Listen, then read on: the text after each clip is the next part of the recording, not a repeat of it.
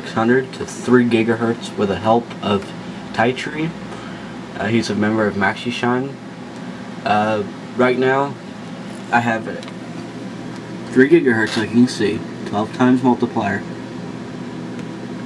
It's actually 1.375 volts. I got stable on orthos for um, 20 minutes, and I played Crysis, the regular Crysis, for about 5 minutes, and it's stable. I was able to play that on high settings with an overclocked graphics card. Uh, my temps are stable and everything, just regular.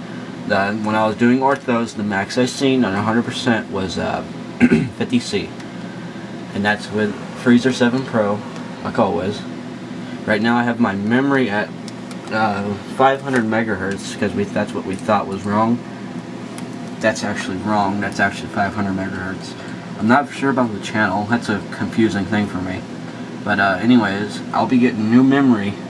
Uh, hopefully I'll order it Monday and it should be here probably Wednesday, maybe. So, I hope you enjoyed. This is proof that I have 3 gigahertz on my E4600 with an XFX nForce 680i LT SLI. I hope you enjoyed. Here's the proof. Thanks a lot. Thanks, T Tree.